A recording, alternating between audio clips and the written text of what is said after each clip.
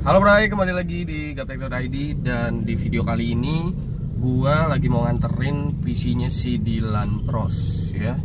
Jadi nanti kita di sana bakalan ngacak-ngacak setup dia dan kita bakalan bahas juga PC lama dia beserta sejarah-sejarahnya itu kayak gimana nih soal PC lama dia karena itu memang PC cukup punya banyak cerita antara gue sama si Dylan lah bisa dibilang kayak begitu.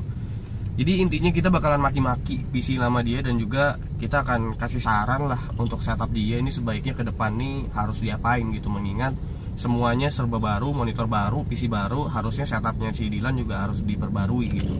Oke, kita ketemu di rumah Dilan.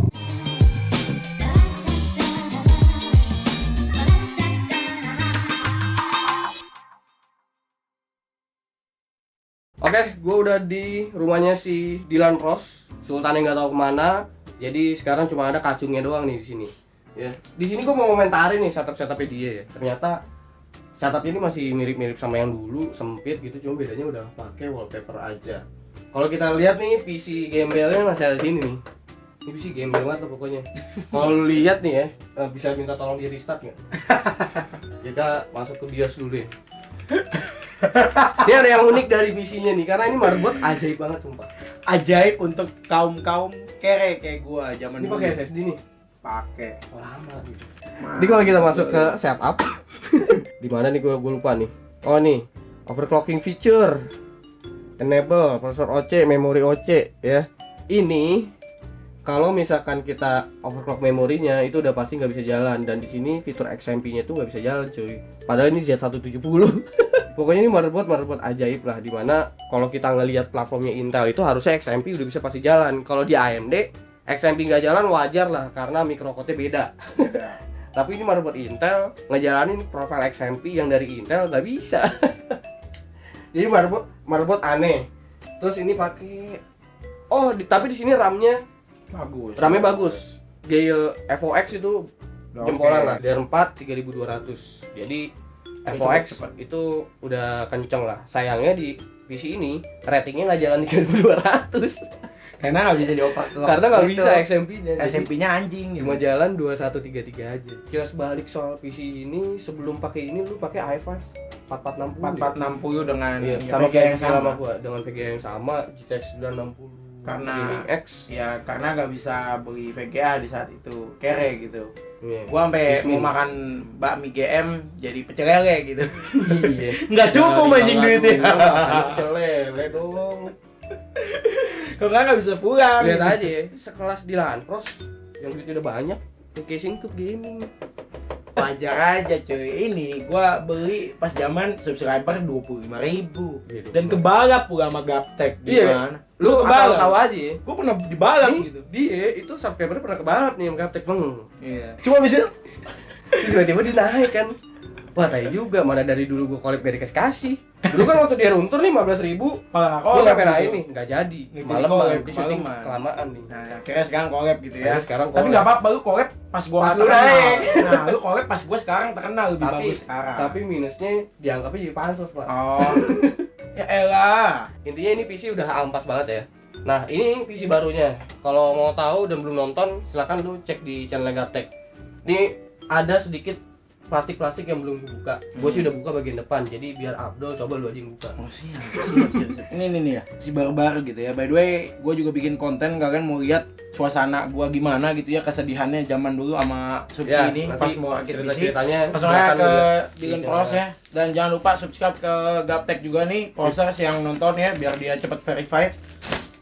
Wih, Oh, baru kelihatan kan kacing kacing. Nah, sebelum lanjut ke setup lu, gue di sini mau eh, ajarin lu sedikit gimana caranya lu kalau nanti mau maintenance, bersihin kipasnya lah atau apa. Gua nggak pernah. Jadi pakai casing ini sebenarnya gampang. Lu tuh tinggal langsung tarik begini aja. Itu udah udah buka gitu ya. ya kan atas Uh, atasnya juga lu deh. Ini gimana tuh oh ini ada obeng satu ya? Pakai tangan juga bisa sih putar aja. Lulus gitu. Oh iya ya baut-baut Ya, baut ini- yang bisa ini pakai tangan. screwless. Iya. nah, ini screwless jadi lu tinggal buka aja terus tarik gitu. Ini atasnya tinggal tarik gitu Ah. doang tuh. Ya. langsung buka. Terus habis itu tiup langsung. lalu sini ada dust filter biasanya debu tuh bakal nempel di sini. Oh, jadi di nggak masuk gitu. nggak masuk. Wah. ini juga depannya kan ada nih dust filternya di sini sama samping. Jadi- jadi debu lu bakalan nempel di samping-samping sini. Udah situ doang, jadi nggak bakal masuk ya tinggal lu kuas-kuasin aja gitu. GG. Dalamnya nggak bakal kotor nih. Ya kotor sih pasti ada, tapi kan sedikit banget gitu. Lu lap-lap Gue dikit. mau buka PC gue ya kayak gini. Dari yang lu ajarin gue cara bersihin, tapi gue belum bersihin dari dari zaman kita beli gitu. Coba. dua tahun anjing nggak dibuka Ini kayaknya 2 tahun bener-bener nggak dibuka ini. Hmm. cooling Nggak nggak dicolok. cooling segitu ya kan Soalnya nggak ada colokannya.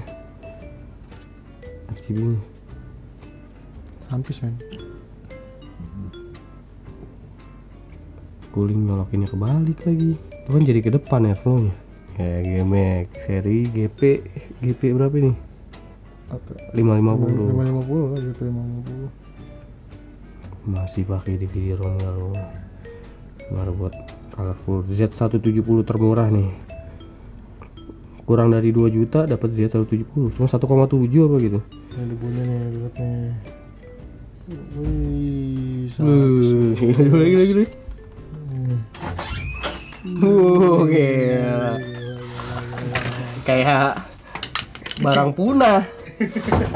kan Gate kan punya setup show off dan Dilan juga nih salah satu peserta setup show off di episode pertama. Ya. Gua Lu bakal kalau mau lihat setup gembelnya dulu nih, setup gembelnya, lu nonton aja setup show Oke, jangan episode begitu. pertama. Eh, belum diganti, dikata-katain dulu sama Sobri nggak apa-apa gitu ya.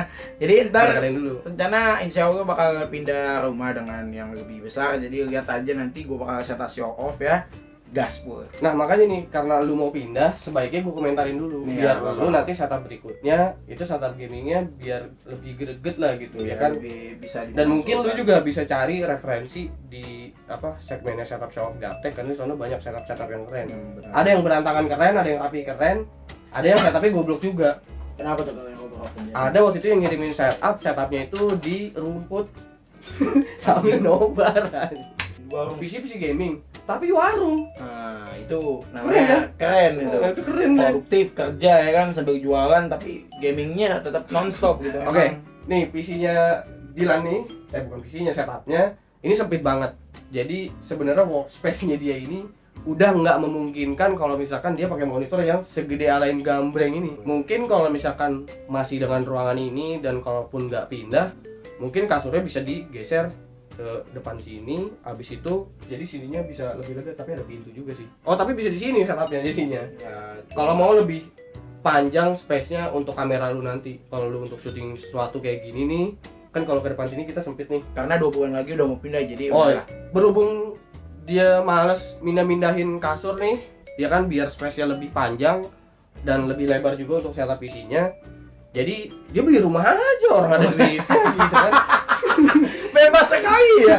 Bener-bener ini edisi Sultan mah bebas. saking saking males Saking malesnya mindahin pindahin kasur gue suka nih. ke area sini malah beli rumah gitu jadi ya udah Iya gitu. Ini meja, kalau meja sih sebenarnya ini juga udah terlalu sempit ya. Apalagi ini nanti kita juga agak kebingungan untuk naruh di sini karena di bawah sini udah sempit banget. Kabel, Iya nggak muat anjing. kabel manajemen juga udah rada-rada gila, makanya juga. Kabel manajemen Iya. dari dulu nggak pernah bisa rapi ya. Jadi harus dimaklumin aja. Cuma gue bingung ini, ntar PC gue yang ini taruh di mana sob? Ya di bawah sini, tapi ini kita harus relakan kan. Ini muat serius nih. Lihat Muat, muat, muat. di sini nih. Nih, nih. Nih. Bisa. Tuh, Muat ngacok. oh, muat anjir. Kan? Ya udahlah. Ya tipis sekali gitu ya. Ini mungkin video gue yang paling gak berfaedah karena isinya cuma ngata-ngatain setup dia doang. Jadi buat kalian yang nungguin setup show off, ya setelah video ini lah ya. Karena dari Bakalan kemarin dikasih. dari kemarin itu gue sibuk nyariin part-part PC-nya dia nih karena part-part PC dia ini cukup rare dia semua produk-produk Jadi gue mau yang memang paling atas dan paling tinggi. gitu. nyari VGA-nya susah nyari motherboard-nya susah harusnya kan nggak itu tadinya ya Harusnya pengen yang lebih mahal, cuma karena nggak ada nggak apa-apa. Tapi ini Hmm. tetap mahal gitu ya. jadi ya udah seperti itu tambah lagi part-part lainnya juga susah lah pokoknya nyari part high end di Indonesia tuh susah. Mid end banyakan guys. Mm-mm, mereka mid end sama low end kalau di Indonesia. Oke segitu aja dulu dari gue. Jangan lupa like share dan subscribe jika video ini menarik buat kalian. Kalau sosial media gua sosial medianya Dilan Pras juga YouTube juga.